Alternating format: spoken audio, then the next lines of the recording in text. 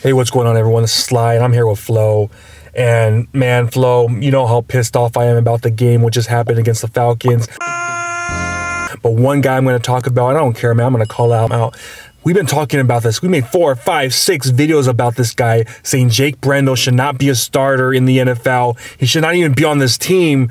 But for some reason, Kyle Shanahan listened to our cokehead offensive lineman, Chris Foerster, and said, no, we're good with Jake Brendel. What do you think about this man and how pissed off are you are that this guy is our starting center? Yeah, man, we're, we're trying to tell everybody from the get go. This guy is literally the definition of a revolving door, man. It doesn't matter if it's on the field where it seems just like everybody blows right by him or a revolving door in his whole entire career. I don't think this guy has made a roster longer than December.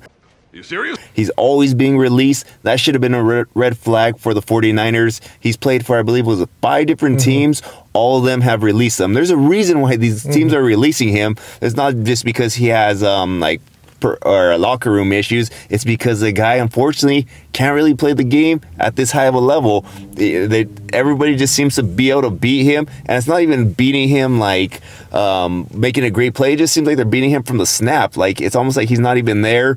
And I, I feel bad for Jimmy G, man. A lot of times I've been kind of been hard on Jimmy G, but I do understand, man. He's getting the pressure because this guy cannot block to save his life. And he's playing the center position. That's supposed to be the easiest part to like block, but he can't do it, man. And he's getting stupid ass penalties. Today, another two penalties he got. I mean, absolutely ridiculous. The screen passes. Your ass needs to stay five yards back. You did that shit last week. You're doing it again. Dumbass. You got to wait. You can't go five yards past the line of scrimmage. Also, that stupid play, man, this guy's legs were in the effing air, man.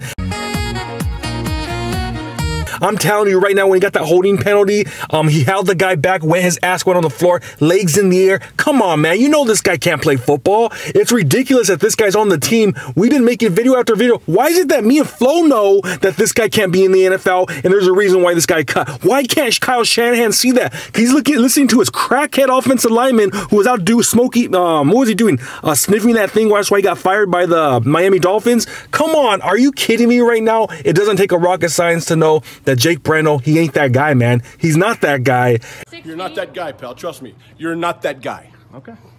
Okay. And I'm shocked, man. I know JC Tretter was out there. I know the NFL was colluding because he was talking about the NFL. Screw that, man. Jed York, you go get him. Who cares if the other NFL owners aren't going to get him? JC was the third best uh, offensive lineman in the NFL last year. He knew that he wasn't going to get picked up, so he's like, ah, screw it. I'm just going to retire since no one wants me.